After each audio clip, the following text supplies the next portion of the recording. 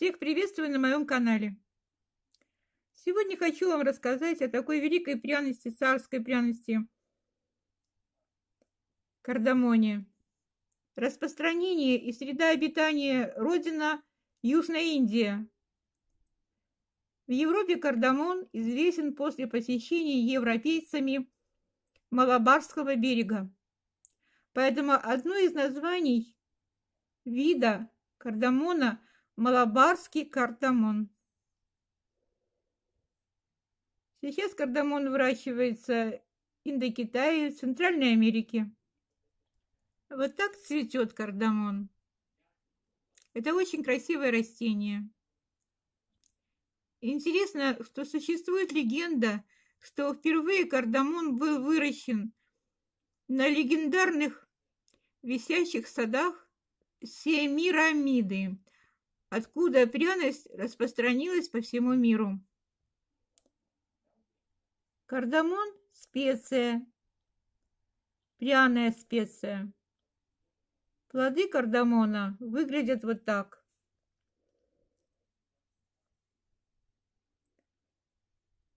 Как зеленые коробочки длиной до двух сантиметров. После высушивания становятся похожи на трехгранные капсулы. Кардамон принадлежит к одной из наиболее изысканных пряностей. Основная область его применения – ароматизация мучных кондитерских изделий, кексов, печений, коврижек, и особенно ароматизация кондитерских начинок в рулетах, слоеном тесте, например, кофейный торт. Кардамон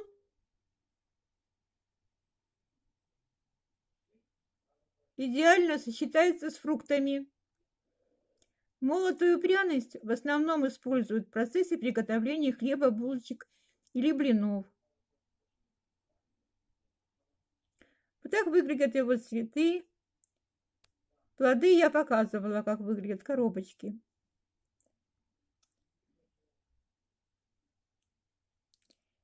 В традиционной медицине используют благодаря обилию эфирных, эфирного масла и прочих полезных веществ в составе кардамона используется для лечения различных заболеваний, таких как проблемы с желудком, дыхательные заболевания, например, астма, инфекции, проблемы с сердцем.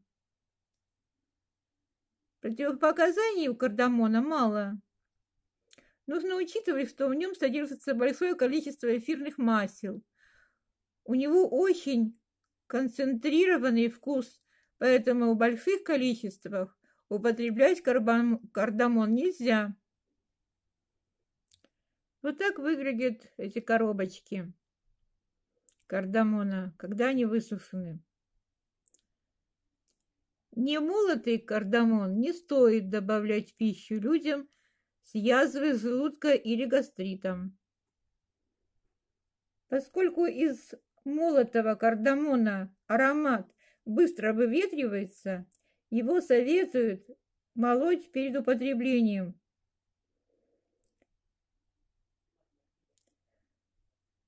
состав кардамона входят белки, углеводы, небольшой процент, жиров, флавоноиды,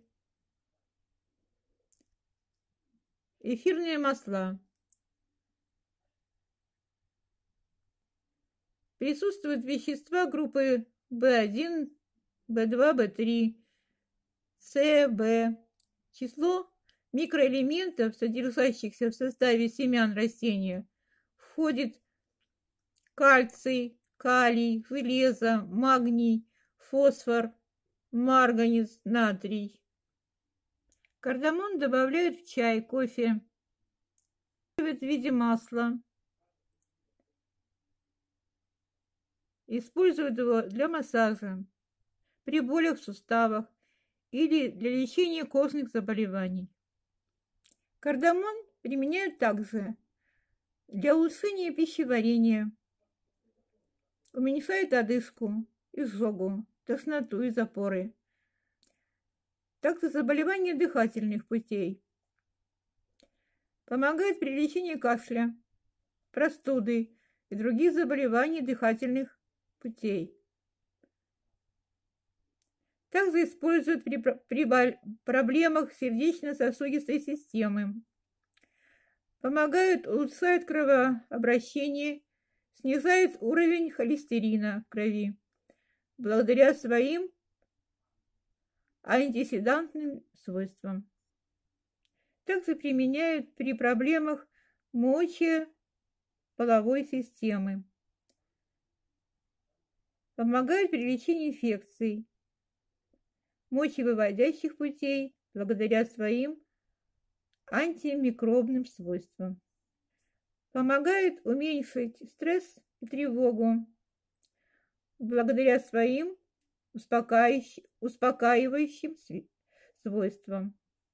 Помогает укрепить десна, зубы. Предотвращает кровоточивость десен. Семена кардамона используют для масок при жирной коже лица. Также кардамон великолепным образом влияет на, на зрение,